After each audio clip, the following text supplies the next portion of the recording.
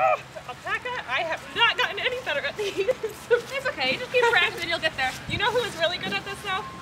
Nativity, right? Yeah, they were amazing at stilts.